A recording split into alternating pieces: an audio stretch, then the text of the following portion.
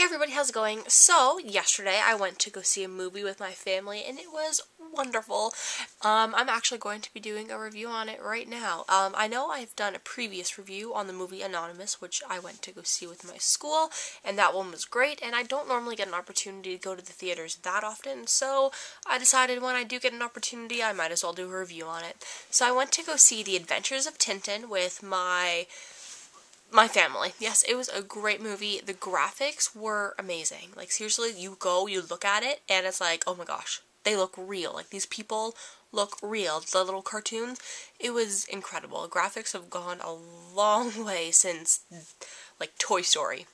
Um, but yeah, it was great. I loved all the transitions in the movies. There's this one part where they go from they're in like the Sahara Desert and you see all of the the sand and like the hills in the sand and then all of a sudden this boat kind of pops up out of the sand and starts moving and all of a sudden the sand turns to waves. Oh my gosh, that was incredible. And then they use I can't remember if it's a glass or no, it's like a looking glass, you know, like like pirates. They use the very end of it and they like zoom in and it becomes an entire scene and it's just incredible. So the entire movie is basically based on this boy named Tintin who I actually thought was like 10 years old, but apparently he's not. He's like 25. He has his own apartment and a little dog Snowy, which is this little white pup. I'm not exactly sure what breed of dog it is, but he's adorable. Um, so yeah, and basically they solve mysteries together like Inspector Gadget, but he doesn't have all the gadgets.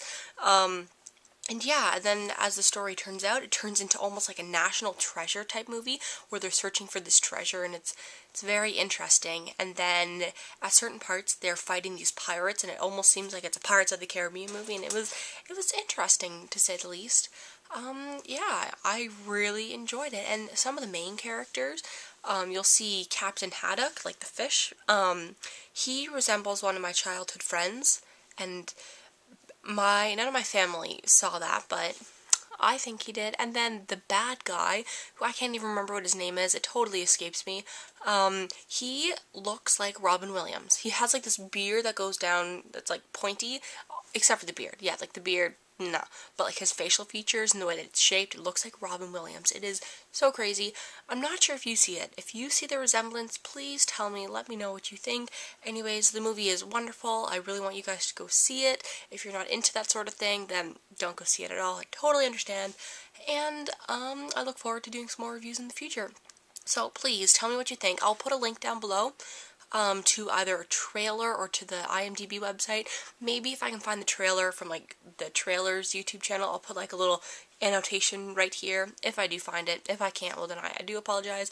But I, I, will put some form of a link down below. So look and check that out. Um, and I wonder if there's going to be a second movie. I mean, the new one. This one has just been released. But it'd be interesting to go see a second one. I'd, I'd go see it. So anyways, thank you very much for watching. And I will see you in my next video. Bye.